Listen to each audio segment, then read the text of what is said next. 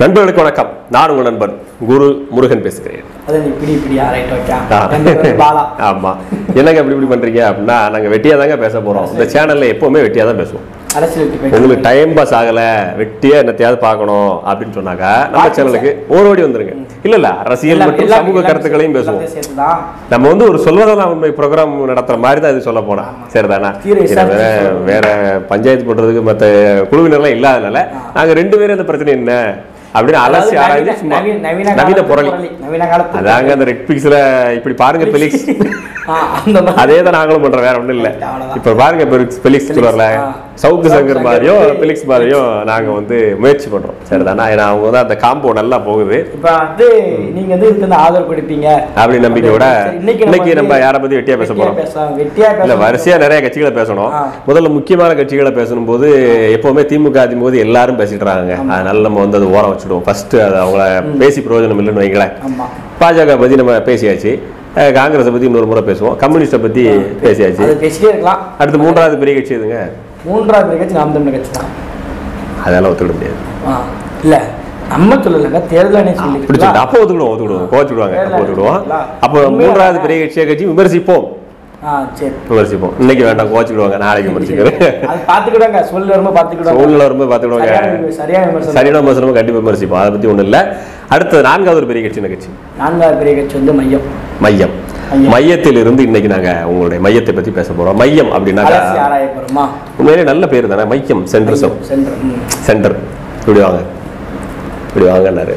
அந்த கட்சியில ஒருத்தர் வந்து ஒருத்தர் மட்டும் ஓடிட கூட நாற்காலி போட்டு கட்டி வச்சுக்கிறாங்க அதாவது தெரியுமா இல்லையா? தெரியும் தெரியும் யார் அவரு அந்த எப்படி எப்படி அந்த க- ஒரு அந்த ஒரு கட்சியில இருந்து ஒருத்தர் மட்டும் ஓடி போயிடக்கூடாதுங்கிறதுக்காக. நாற்காலில் போட்டு கட்டி வச்சுதான் ரகசியம் சொல்றதுக்கு இல்லை அப்படின்னு போட்டு மீம்ஸை போட்டுட்டு இருக்காங்க அவரை அவர் தான் இந்த கட்டிப்பிடி வைத்தலாம் பண்ணுவார் ஸ்னேகன் நினைக்கிறோம் இல்லையா அவரெல்லாம் பண்ணி வச்சுக்கிறாங்க தேர்தலுக்கு முன்னாடியே சொன்னார் என்ன வந்து பத்து கோடி ரூபாய் வரைக்கும் என்ன பேரம் பேசுறாங்க அப்படின்னாரு அவரையா இல்ல வேடி தெரியுமா இவ்வளவு கோடி ரூபாய்க்கு பேரம் பேசுனது யாரு எந்த கட்சிங்கிறது அவர் கட்சியின் தலைவர் சொல்ல மாட்டார் ஊழலை ஒழிக்க போறாங்க தான் ம். இந்த எங்களை பேரம் பேசுறது சொல்றாங்களா ஊழல் மக்கள் நிறைய ஊழல் நிறைய.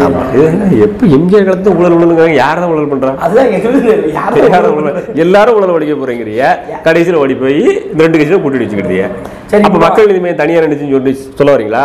தனியா அது கூட வந்து இன்னொரு கட்சி சேர்ந்து நின்னுச்சு நம்ம எந்த கட்சிலாம்? சமத்துவ மக்கள் கட்சி அப்புறம் சமத்துவ கட்சி ஊழல் இல்லாத கட்சிங்கிறீங்களா நீங்க? ஊழல்.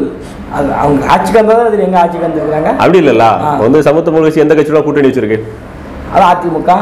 அதிமுக ஊழல் கட்சியா இல்லையா? திமுக. திமுக ஊழல் கட்சியா இல்லையா? செம்டியூ அப்போ ஊழல் செய்தவரோட கூட்டணி வைத்துக் கொண்டாலும் ஊழலுக்கு ஆட்பட்டவரே. சரிதானா அப்படிதான் உங்களோட சுத்தம் முடிஞ்சு போச்சு. முத கூட்டணியில இன்னொரு கட்சியோட கூட்டணி அவர் என்ன கட்சி? யாரு? அது எஸ்டிபி இல்லைங்க இந்த இவர் கமலஹாசன் கூட்டணி வச்சதுங்க. கமலஹாசன் அது இந்த இந்த ஐஜேக்கு இந்த அவர் ஏதோ பாரி வந்த கட்சி ஒரு நாற்பது சீட் நம்ம கொடுத்தாங்க. அந்த அந்த அவர் பேர் வந்து இந்த நாட்சையில் உள்ளவர் இந்த கர்நாடக ஏதோ எஸ்ஆர் யூனிவர்சிட்டியில் வச்சிருப்பார்ல அவர். ஆமா அதான் அவர் பேர் சரியா சரி மொத்தம் கூட்டணி வச்சாருங்க. வச்சாங்க, ஆமா. இப்படியே கூட்டணி வச்சாங்க. நாற்பது ரூபாய் கொடுத்தாருலண்ணே. ஆமா நாற்பது ரூபாய் கொடுத்தாங்க. இப்ப இதெல்லாம் மேட்டரை விடுங்க. இப்ப இந்த- இந்த கட்சியெல்லாம் உருவாகிறதுக்கு ஒரு மொத்த மனசு இருந்தாரு. அது யாரு? கட்சியெல்லாம் அந்த மையங்கள் ஒரு கட்சி உருவாகிறதுக்கு ஒரு மனசு இருந்தாரு. அவர் பால் நடிச்சிட்டு இருந்த இந்தியன் டூவே அப்புறம் இந்த கமலஹாசன் இப்ப விக்ரம் மூவி அப்படி போய்கிட்டு இருந்த மனுஷன் தூக்கி வச்சுட்டு தலைவா வா ஆளவான்னு சொல்லி உட்கார வச்சாரு. கடைசி அந்த மனுஷன் ஓடி போயிட்டாரு. அது சரி. நீங்க அதை எல்லாரையும் போய் பேச கேட்ச் இல்ல அவர் இப்ப எங்க. போனாருங்கிறீங்க. ஒரு பக்கம் போல தாய் கழகத்தில் இணைந்திருக்கிறாரு. இணைஞ்சு விட்டார். தாய் கழகத்தில் இணைந்திருக்கிறாரு அங்கிருந்து வந்தார் அங்க போயிருக்காரு. திரும்பி மீண்டும் மீண்டும் எங்கிருந்து வந்ததோ அங்கே கொடுக்கப்பட்டது. அப்படிதான் கமலுடைய எது இன்று உன்னுடையதோ? எது எது இன்று கமலுடையதோ? நாளை எது இன்னொருவருடைய தாய் கழகத்தினுடையது அப்படி இது நம்ம சொல்லல. கமல் கட்சியினுடைய தொண்டர்கள் வந்து அவர் அந்த கட்சியில இருக்கிற தீவிர பிடிப்பு உண்டுங்க. கமலஹாசன் கூட சேர்ந்து கமலுடைய புகழை வைத்து வெற்றி பெற்றலாம் பார்த்தாரு. முடிகிறதெல்லாம் அங்க போயிட்டாருன்னு சொல்லி இப்போ மையத்தினர் மையத்தினர் பேசுறாங்க. சரி இதெல்லாம் ஒரு புறம் இருக்க? ஒரு ஒரு லேடி வேட்பாளருக்கு. மதுரை.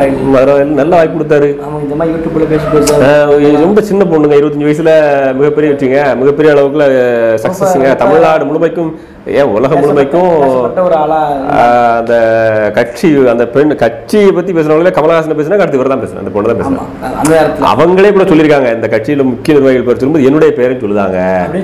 சந்தோஷப்பட்டாங்க. கடைசியில் இப்ப எங்க இருக்காங்க? அவங்க என்ன பண்ணிட்டாங்கன்னா பத்தாயிரம் ஓட்டு வாங்கினாங்க.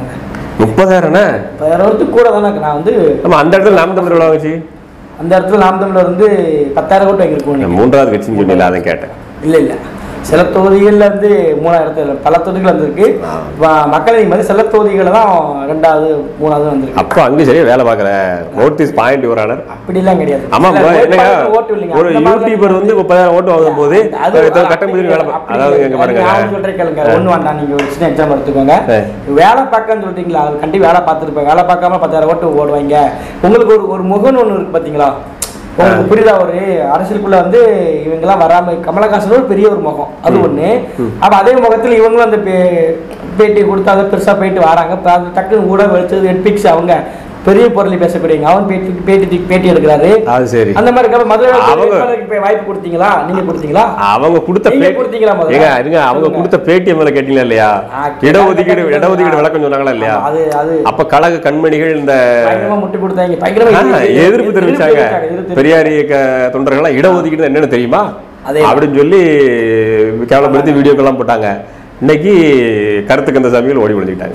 இப்ப என்ன பண்ணாங்க அதை சொல்லி முடிச்சுக்கிறாங்க திமுக போய் அணைச்சிட்டாங்க அதெல்லாம் அதனால தான் அவங்க அங்க இப்போ சப்போர்ட் பண்ணாங்க நம்ம அதுல இருந்து புரிஞ்சுக்கிட்டோம் தாய் கழகத்துக்கு போன உடனே சப்போர்ட் பண்ணிட்டாங்க. அவன் சொன்னது பத்தியிலே ஆ. பெரியாருடைய தத்துவங்களும் திமுகவுடைய தேவையும் இந்த நாட்டுல எவ்வளவு இருக்குதுங்கிறத அரசியல் நான் அப்புறம் கத்துக்கிட்டேன். அதனால தான் நான் வந்து திமுக நான் எப்படி டைலாக் எழுதி கொடுக்காங்களோ யாரும் அது எனக்கு என்னமோ தெரியலையா? திமுகவுக்கு போகணும்னு உடனேயே பெரியார் இதெல்லாம் சொல்லுதாங்க. எனக்கு திமுக தொண்டர் யாரும் பெரியார் பத்தி பேசுற மாதிரி தெரியல.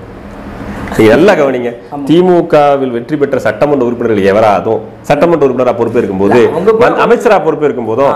நான் வந்து பெரியார் வழியில் இந்த ஆட்சியை கொண்டு வருவேன் யாரா சொன்னாங்களா? மதிப்புக்குரிய உதயநிதி ஸ்டாலின் சொன்னாரா? ஸ்டாலின் அவர்கள் சொன்னாங்களா? பெரிய ஆட்சி அமைச்சதானே கொண்டு ஆட்சி அமைக்க அவருங்க அவர் அவர் அவருடைய. கருத்துக்களின்படி அவர் அவர் நல்லவர். நான் ஒரு தெலுங்கு மாநில சேர்ந்தவன். நான் ஆளக்கூடாது. இந்த மாநிலத்தை அவரு தெலுங்கு. அவர் கன்னடர்னு கன்னடர், பிறப்பால. சரியா. சரி அவர் ஆட்சி பண்ணுதாரு பண்ணல. அவருடைய கருத்துக்களை பண்ணுவோம்னு அவர் கூட சொல்லல? ஆனா புதுசா போய் சேர்ற உடன்பிறப்பு பூரா பேர் ராம் தமிழர் இருந்து போன ராஜீவ் காந்தி எதுவும் சொல்றாங்க. பெரியாருடைய சமத்துவம் சகோதரத்துவம் தான் இருக்குது. நான் அதனால அங்க போறேன் அப்படின்னு. எல்லாரும் யாரை கேட்டாலும் பெரியார் இருக்கிறீங்க அப்ப நீங்க? ஒரே இலை. அப்ப யாருமே நீங்க உதயநிதி ஸ்டாலின் மதிக்கல? ஏங்க நடனத்தை பாத்துக்கிடுங்க உங்களை எல்லாருமே வந்து இது பண்றாங்க. உதயநிதி ஸ்டாலின் அவர்கள் கொஞ்சம் கவனத்துல வச்சுக்கிட்டு ரசிகர் தானே? உண்மையில ஆமா நான்லாம் அந்த சந்தானம் கூட பாட்டு வேண்டாம் மச்சான் வேணது பாட்டுலாம் நல்ல பாட்டு நல்ல பார்த்தோம் அவருடைய ரசிகர்கள் நம்ம அடுத்த படத்துக்கு வெயிட்டிங்ல இருக்கோம் அவருக்கு இன்னொரு படம் ஒரு வக்கீல் நடிச்சிருப்பா தெரியுமா? மனிதன். நல்ல மனிதன் இல்ல, படம் பேர் மனிதன். படம் பேர் மறந்துருச்சு. நல்லா நல்ல நடிப்பு. உண்மையிலேயே அந்த படத்துக்கு வந்து நிறைய விமர்சகர்கள் பாராட்டியிருந்தாங்க நல்லா நடிச்சிருந்தாரு. அந்த படத்துல நல்லா ரசிகன். சரிங்க. அந்த படத்தை விடுங்க. இப்ப இவங்க நம்ம நான் இப்ப கஷ்டப்பட்டு படத்துக்கு ரசின்னு சொல்லிட்டு உங்களுக்கு புரியலையா? மக்கள் பூரா கமலஹாசன் ரசிகருங்கிற மனப்பான்மையில போனாங்க. அப்படின்னு தான் நாம் தமிழ் கட்சி மட்டும் சொல்லிட்டு இருக்கு ஓ. உங்களுக்கு புரிஞ்சுதா. நாம் தமிழ் மட்டும் தான் சொல்லிட்டு இருக்கு. ஏன்னா அதுவும் கொஞ்சம் உண்மைதான்? உண்மைதான். அதாவது பொதுவா ஒரு சில விஷயங்கள் நம்ம எடுத்து வைக்கணும். நாம் தமிழர் கட்சி தவறா விமர்சிக்குதா? சரியா விமர்சிக்குதா? அப்படிங்கிறது ஒரு பக்கம் இருந்தாலும் நாம் தமிழர் கட்சியை சேர்ந்த ஒரு சிலர் ஒரு ஆரியர் அப்படின்னு விமர்சிக்கிறத வெளிப்படையா பார்க்க முடிஞ்சது. மக்கள் நீதி மையத்துக்காரங்களும் இந்த குற்றச்சாட்டை வச்சாங்க. ஒரு சிலர் எலிமினாட்டி அப்படின்னாங்க. ஆமா ஆமா ஆமா ஆமா. ஆமா அது அந்த அதனாலே கமல் ரசிகர்களுடைய வா- ஓட்டு நமக்கு வரல. நாம் தமிழர் கட்சி சீமானனுக்கு வரல. இது வந்து நீங்க களத்தில் கொஞ்சம் மறுசீராய்வு செய்ய. மறுசீராய்வு செய்ய வேண்டிய பதிவு. சரிதானா. அடுத்து வேற என்ன கமலஹாசனை பத்தி நாம் சொன்னாங்க? கமலஹாசனை பத்தி அவர் அதான் மேக்சிமம் நடிகர் அவரு. இதே சொன்னாங்க. அது வந்து அதனால ஓட்டு இல்லை. அது அது இது வந்து ஒரு பக்கம். சரி இப்ப கமலஹாசன் அவர்கள் வந்து மக்கள் நீதி மையம் நிம்மதி செயல்படும் நினைக்கிறீங்களா? மக்கள் அவர் வந்து செயல்பட்டார். இன்னைக்கு இப்போ இப்போ நம்ம பேசிட்டு இருக்க நேரத்துல வந்து விக்ரம் மூவிக்கு போட சொல்லிட்டு போய் விஜய் சேதுபதியும் கமலஹாசனும் முதல் ஃபைட்டு கிளைமேக்ஸ்க்கு இப்போ எடுத்த லோகேஷ் கனகராஜன். அவரு வந்து. அவர் வந்து அவர் வந்து அவர் தொழில. கேட்டீங்க. மக்கள் நீதிமை கமலஹாசன் வேற கிடையாது. கமலஹாசன் சினிமா வேற கிடையாது. அதனால அவரோட தொழிலை அவர் பார்த்துட்டு இருக்காரு. சரியா இருக்கு. சரியானா போயிட்டாரு. இப்ப இவர்களும் கூட்டணி வச்ச கட்சிகள் இப்ப மக்கள் நீதி மையத்துடைய கருத்துக்களை பேசுதாங்களா? கூட்டணியா? ஐயோப்பா அவரே திரும்ப மதிப்புக்குரிய. சரத்குமார் அவர்கள் எனக்கு போட்டியிடுறதுக்கு வேட்பாளரே இல்லைன்னு முடிச்சுட்டு திருப்பி இந்த மாதிரி கட்சியோட கூட்டணி வைக்கிற ஒருத்தர் எப்படி மாற்றத்தை கொண்டு வர முடியும்? இதை எதுக்காக சொல்லுதோம் நாங்க வேடிக்கையா சொல்லுதுன்னு நினைக்கிறீங்க. எதர்சனத்துல கமலஹாசன் வச்ச கூட்டணி ஒண்ணுது உப்பு செப்பிலா கூட்டணி உலகம் இருந்து உண்மையா போச்சு. ஏன்னா கொடுத்த சீட்டுல நிக்க கூட ஆள் இல்லைன்னு திருப்பி கொடுக்குறோம். கேட்ட தொண்டர்களுக்கு வாய்ப்பு கொடுக்குறோம் நாங்க. சரி தொண்டர்களுக்கு கொடுக்க வேண்டியதுனே சில இடங்கள்ல அந்த கூட்டணி கட்சி சார்ந்தவங்க பிரச்சாரத்துக்கு வரல. கமலஹாசன் அவர்களும் எல்லா தொகுதியும் சுற்றுப்பயணம் வர முடியல. இதெல்லாம் இருக்குது. இது ஏன் வந்து நம்ம கட்சியை குறை சொல்லல? ஓட்டு போட்ட மக்கள்கிட்ட சொல்றோம். என்னங்க? மாற்றத்தை விரும்புனீங்க. நல்லதா விரும்புனீங்க. அஞ்சு வருடம் தேர்தல் முடிஞ்சு அடுத்த அஞ்சு வருடத்துக்கு இந்த கூட்டணியில் கூடிய கட்சிகள் இதே மாற்றத்தை பத்தியும் இந்த கூட்டணியுடைய வகுத்த கொள்கைகளை பத்தி பேசுனா கரெக்ட் ரைட் டைரக்ஷன். ஓகே நாங்க வந்து இந்த கூட்டணி ஒப்பந்தம் முடிஞ்சாலும் இருக்கு. ம். நாங்க அடுத்த அஞ்சு ஆண்டுகளுக்கும் கமலஹாசன் கூட நிற்போம். எம்பி எலெக்ஷன் கூட இவங்க எங்க நிப்பான்னு தெரியாது.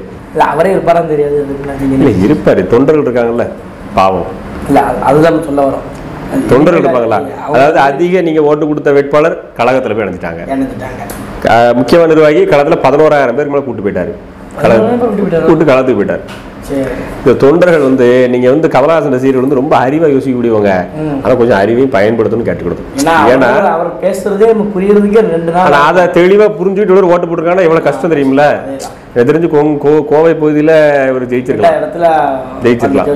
ஜெயிச்சிருக்கலாம். அவர் ஜெயிச்சிருக்குன்னு நான் விரும்புறேன். ஏன் தெரியுமா? மாற்றம் மாற்றம் சொன்னவரால எதுவும் பண்ண முடியலங்கிறது மக்களுக்கு தெரிஞ்சாதான் ஒரு ஒரு ஆல்டர்னேட்டிவ் சோர்ஸா தமிழ்நாடு முழுமைக்கு தனிச்சு நிக்கிற சீமானுக்கு ஒரு வாய்ப்பு கொடுக்க கண்டிப்பா இனி ஒரு பக்கம் எனக்கு இன்னொரு ஆசை இருந்தது. அது தோத்ததுக்கு அப்புறம் இன்னொரு சொல்லு நினைச்சேன் நாட்டின்னு சொல்லி தெரிஞ்சானுவா அவரே ஜெயிக்க முடியல எங்கடா இளம் நாட்டு அது ரிசல்ட் நம்ம ராத்திரி நம்ம போட்டுட்டு இருந்தோம். அன்னைக்கு சொன்னேன் இளம் நாட்டு சொன்னீங்க. கொஞ்சம் மனசாச்சு சொல்லுங்கடா பாவம். அவரே அவரே ஜெயிக்க முடியல எங்கடா இளம் நாட்டு இப்போ அதை சொன்ன உடனே கீழே பல பேர் வந்து உனக்கு இளம் நாட்டு என்ன தெரியுமா? தெரியுமா ஆ.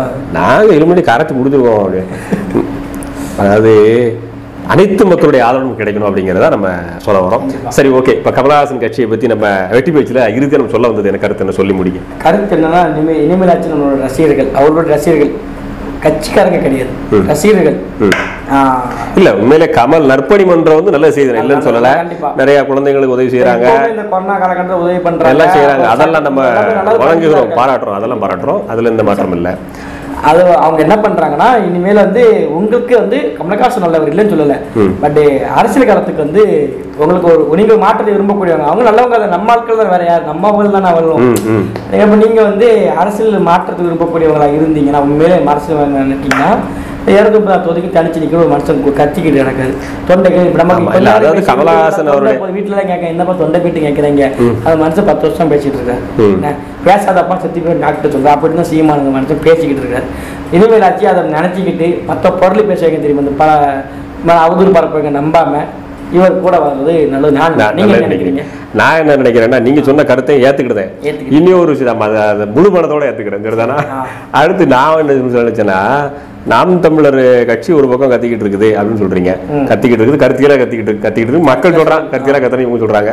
சரி இப்போ வந்து இந்த இந்த சரத்குமார் அவர்கிட்ட கூட்டணி மற்ற கூட்டணிலாம் வச்சாரு இல்லையா. இந்த கூட்டணிலாம் எதிர்காலத்தில் இருக்குமானு தெரியாது. அந்த கட்சிகளே இருக்குமானு தெரியாது. இவங்கெல்லாம் தாய் களத்தில் நடந்தாலும் ஆச்சரியப்படுறதுக்கு இல்ல. அப்ப நீங்க வந்து ஒரு ஒரு யோசிக்கணும். ஓகே கமலஹாசன் அவர்களுக்கு இவங்க துரோகம் பண்றாங்க. கமலஹாசன் துரோகம் பண்ண நிர்வாகிகள் எத்தனை பேர் இருக்கிறாங்க? அதுவும் இல்லாம கமலஹாசன் அவர்கள் கொள்கையை சொல்லுனா காப்பி அடிச்சிருவாங்கிறாரு. நேரம் சொல்ல தேர்தல் முடிஞ்சு போச்சு. முடிச்சு எம்எல்சி முடிச்சாச்சு. முடிஞ்சாச்சு இதெல்லாம் உள்ளாட்சி தான் சொல்லுங்க. அப்படின்னு சொல்லி நம்ம கேட்க வேண்டியது இருக்கு. அப்ப தன் கொள்கையை சொல்ல முடியல ஒருத்தரா காப்பி அடிச்சிருவான்னு சொன்னாங்க. இவரால எப்படி நல்ல திட்டம் செய்ய முடியும்? யோசிச்சு பாருங்க. அவர் வந்து ஒரு சினிமா பிரபலம் தான் இல்லைன்னு சொல்லலை. அவருக்குன்னு ஒரு கிரேஸ் இருக்கு அவர் நல்ல கருத்துக்களை சொல்றாரு. இல்லைன்னு சொல்லல. அவருக்கு நல்ல விஷயம் இருக்கு. செயல்படுத்தணும்ல. செயல் வீரர்களா அந்த கட்சியில கூடிய சுற்று அவர் சுற்று அதாவது கட்சியில முக்கிய திரைப்பட நடிகர்கள் திரைப்படத்துறை சார்ந்தவங்களுக்கே வாய்ப்பு கொடுத்துருக்காரு. திரைப்பட நடிகர் நடிகைகள் தான் அவர் சுத்தி இருக்காங்க பல பேர். இ- எளிதில் அணுகக்கூடியவங்களா இருக்கிறாங்களா? இது ஒரு கேள்விக்குறியில் அந்த கட்சியை பொறுத்தவரைக்கும். அதனால அது கொஞ்சம் கவனத்தில் எடுத்துக்கிட்டீங்கன்னாக்கா ஒரு மாற்றத்தை நோக்கி விரும்பக்கூடியவங்க மையத்திலிருந்து விலகுவீர்கள் அப்படின்னு நினைக்கிறேன். மாற்றம்னு விரும்புனா மாற்றம் ஏ இங்க பாருங்க இன்னொன்னு சொல்றேன் பாருங்க அதை சொல்லி முடிச்சிருந்தேன் கூட்டணி நீங்க திமுக இருக்குதான்னு கேட்டாங்க. இவர் என்ன சொன்னாரு? கமலஹாசன் சொன்னாரு? மாற்றத்தை விரும்புதாரல்ல? அவர் நம்பி ரசிகர் நிக்காங்களா இவர் என்ன சொன்னாரு முதல்ல? சரத்குமார் கூடயும் அந்த இந்த கட்சியும் கூட்டணி வைக்கும்போது அதுக்கு முன்னாடி இவர் என்ன சொன்னாரு? கூட்டத்துக்கு இந்த திமுக ஒரு பத்திரிகை சந்திப்புல ஒரு அருமையான பதில் சொன்னாரு. தேடி பாருங்க நீங்க. நீங்க தலை சுத்தி கிளம்புறீங்க அவர் ரசிகரே கிளம்புருவாரு அந்த மாதிரி ஒரு பதில சொன்னாரு. சரிதானா கூட்டணி அதிமுக பேரம் பேசுறாரு. திமுக பேரம் பேசுறாரு. ரெண்டு பக்கமும் நடக்கலங்கிறப்ப தான் டக்குன்னு ஓடி போயிட்டு இது பண்றாரு. நம்ம சொல்லல பேரம் பேசுகிறாருன்னு சொன்னவர் இப்ப திமுக இருக்காரு. ரைட்டா அதை நினைச்சுக்கணும் நீங்க. நாங்க வந்து சும்மா சொல்லல. அதெல்லாம் அதெல்லாம் கவனத்தில் எடுத்துக்கிட்டு புகேந்திரன் சொன்ன விஷயத்த நாங்க சொல்றோம். கவனத்தில் எடுத்துக்கிட்டு மதிப்புக்குரிய கமலஹாசன் அவர்களுடைய கட்சி கட்சியாக செயல்படவில்லை. அது ஒரு உண்மைதான். பொழுதுபோக்கு கம்பெனியா இருந்திருக்குது. உண்மையிலே கட்சியா இருக்குதுங்க அப்படின்னா வாங்க களத்துல போட்டு பார்ப்போம். நாம் தமிழர் கட்சியினுடைய உறுப்பினர் எண்ணிக்கை எவ்வளவு? கட்சியோட உறுப்பினர் எண்ணிக்கை எவ்வளவு? நாங்க எப்படி களப்பணியாற்றோம் அதே மாதிரி செய்யுங்க. அடுத்த தனித்து போட்டி எவருடன் கூட்டணியில் இதான் எங்க கொள்கை சொல்ல சொல்லுங்க பாப்போம். கமலஹாசன் அவர்கள். நாங்க ஒத்துக்கிறோம். நாங்க ஒத்துக்கிறோம் போட்டிக்கு ரெடி. அப்படின்னு சொல்லி. ஒழிப்பீங்க? ஊழலை ஒழிப்புன்னு சொல்றீங்க. அதான் கொள்கைன்னு சொல்லிட்டு ரொம்ப நேரம் கேட்டா கடுப்பாயிருவாங்க. Correct, correct, correct. சரி ஷார்ட்டா. சாட்டா சொல்லிட்டோம் கொள்கைகளை சொல்லுங்க. இந்த வெட்டி பேச்சு இதோட முடிச்சு கட்டிக்கிட்டு நாங்க வேற வேலையை பார்க்குறோம். நீங்களும் வெட்டியா இருந்தா அடுத்த பதிவில் சந்திங்க. மறக்காம சப்ஸ்கிரைப் பட்டனை தட்டி விட்டீங்கன்னா போடக்கூடிய வீடியோக்குள்ள உங்களுக்கு வரும். அடுத்த ஒரு பேர் சந்திக்கிறோம். நன்றி.